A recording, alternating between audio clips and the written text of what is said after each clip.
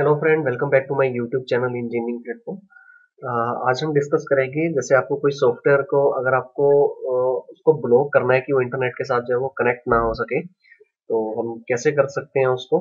आप यहाँ से सर्च में जाइए और लिखिए विंडोज़ फायरवॉल ठीक है इसको आपने सेलेक्ट किया। uh, इसको आप सेलेक्ट कर लीजिए। यहाँ से आप आ जाइए एडवांस सेटिंग के अंदर।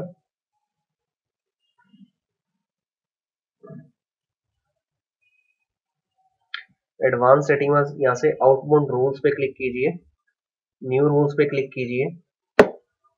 यहाँ पे प्रोग्राम को सिलेक्ट रखिए और नेक्स्ट पे क्लिक कीजिए। उसके बाद यहाँ से ब्राउज कर लीजिए।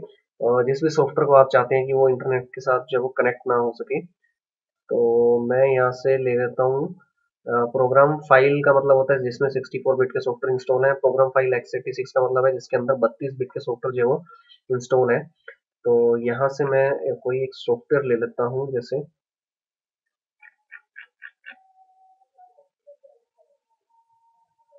सपोज़ मेरे को जैसे ई टैब मेरे को करना है। ई टैब में मैं यहाँ से एप्लीकेशन को मैंने सेलेक्ट किया ई टैब वाली ओपन किया और इसको मैंने नेक्स्ट कर दिया।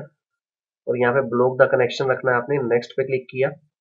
नेक्स्ट पे क्लिक किया, नाम में, जो मैं नाम दूँगा, वही मेरा यहाँ बाहर जो है वो इधर शो करेगा। तो मैं यहाँ पे नाम दे देता हूँ ई टैब्स ठीक है? डिस्क्रिप्शन में आप कुछ भी लिख दीजिए। यहाँ से फिनिश कीजिए। तो यहाँ से आप एडवांस सेटिंग में जाकर के आप उसको चेक कर सकते हैं। और आउटबाउंड रूल में जाइए। तो आपका ये जो है वो ब्लॉक हो चुका है।